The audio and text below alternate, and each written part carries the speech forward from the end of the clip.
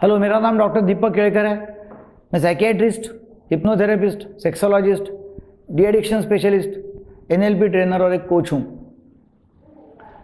मैं आपको बताने वाला हूँ आज वेस्कुलर डिमेंशिया के बारे में। वेस्कुलर डिमेंशिया इसका मतलब है कि दिमाग में खून न पहुँचने की वजह से भ्रमिष्टपना होना भ्रमिष्ट हो जाना, भ्रम निर्माण होना। होता क्या है कि 60 साल के बाद में यदि कोई ऑपरेशन व्यक्ति का होता है, अभी आजकल तो ऐसा हो रहा है कि नी ज्वाइंट घुटने जो है तो घुटनों का ऑपरेशन काफ़ी ज़्यादा प्रमाण में हो रहा है।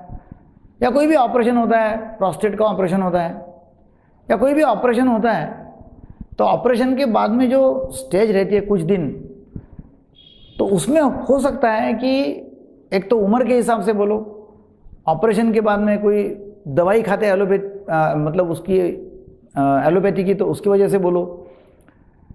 या फिर और कोई कारण एनिस्थेशिया दिया गया था, उसमें बोलो ब्रेन को खून का दौरा जो है वो कम पहुँचता है, खून कम पहुँचता है, या ऑक्सीजन कम पहुँचता है।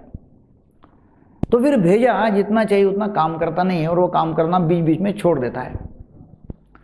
तो ऐसे जो व्यक्ति है, जिनको ऑपरेशन के बाद में या कोई बीमारी हो जाती, बुखार आ जाता है, उसके बाद में या कोई लूज मोशंस होते ज़्यादा टॉयलेट लगती है, उसके बाद में कुछ तो भी बीमारी हो जाती है, और वो बीमारी के बाद में उनको भ्रम होना शुरू हो जाता है।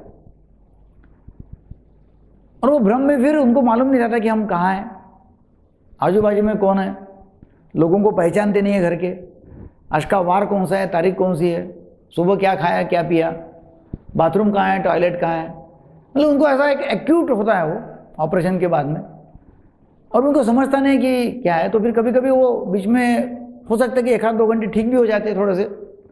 मगर जैसा जैसा दिन आगे बढ़ता है, शाम हो जाती है, रात हो जाती है तो वो तकलीफ़ ज़्यादा बढ़ने लगती है। उनको कॉम्प्लिकेटेड एक्टिविटी जो है मतलब कॉम्प्लिकेटेड कमांड ज़्यादा कठिन ऐसी उनको ऐसे आदेश दिए गए तो वो आदेश वो मानते नहीं, उनको समझते नहीं। जैसा उनको हिसाब करने लगा है तो वो कर नहीं सकेंगे। या उनको कोई ऐसी कठिन, कोई एक्टिविटी करने लगा है तो वो कर नहीं सकेंगे। या कोई बैंक में जाके कोई पैसे निकालना, डालना मतलब वो नहीं कर सकेंगे। और भुलक्कड़पना आता है, भूल जाते हैं। सुबह क्या खाया पिया मतलब सब, सवेरे का ज़्यादा भूल जाए इनको इनको एक खासियत ये है कि पुराना उनको अच्छा याद आता है। मगर सुबह जो खाया पिया वो याद नहीं रहता। या कल क्या, कौन मिला, कौन आया, कौन गया, ख्याल नहीं रहता। तो एक तो ये बीमारी उम्र के हिसाब से हो सकता है कि बढ़ते जाएँगी और उसका वो ज़्यादा बड़ा रूप लेंगी, या फिर दवाई करके खान पीन, खान पान अच्छा करके हो सकता है कि कंप्लीट रिकवरी पूरा अच्छा व्यक्ति वो हो सकता है। मगर इस समय यदि उसको अल्जाइमर का डिमेंशिया अल्जाइमर्स डिमेंशिया करके जो बीमारी है अल्जाइमर नाम के व्यक्ति ने ये भ्रम की बीमारी ढूंढ के निकाली थी और उसके नाम से ही जाना जाता है। तो जो अल्जाइमर जिसे वो यदि उसके साथ में आ गया तो फिर तो आदमी ठीक होना बहुत ही कठिन है। वो होता नहीं ठीक जल्दी फिर। उसके लिए फिर अल्जाइमर डिज़ीज़ के लिए फिर बीमारी मतलब वो जो बीमारी उसके लिए फिर दवा वगैरह अलग है। उसका ट्रीटमेंट अलग है। हमने जो अभी नया हॉस्पिटल चालू किया, वो हॉस्पिटल में हम अभी जो सीनियर सिटीज़न जो है, वृद्ध लोग, जिनको ये डिमेंशिया भ्रम भ्रम की बीमारी अल्जाइमर डिमेंशिया हुआ है। उनको हम रखते हैं, उनकी हम पूरी केयर लेते हैं। होता क्या है कि आजकल के फास्ट ज़माने में जो सीनियर सिटीज़न है, वृद्ध व्यक्ति जो है, बूढ़े लोग, उनको घर में रखना, उनकी केयर लेना लोगों के लिए संभव नहीं है। स्पेशली पति पत्नी यदि काम पे जाते हैं, दोनों वर्किंग है, बच्चे घर में, घर छोटा है तो घर में रखना उनको मुश्किल हो जाता है। और उसमें उनको भ्रमिष्ट पड़ा है, याद नहीं रह रहा है। भुलक्कड़पना हो रहा है। फिर कभी पेशाब कपड़े में कर देते हैं, कभी टॉयलेट कपड़े में कर देंगे। तो ऐसे इसमें उनको मेडिकल केयर लेना साथ साथ ज़रूरी है। तो हमने भी एक हॉस्पिटल खोला है, उसमें सब ये व्यवस्था है। वहाँ वो रख सक, वहाँ वो रुक सकते हैं, उनको अच्छा हम करते हैं, उनकी केयर लेते हैं अच्छा होने के बाद में उनको घर वापस भेजते हैं।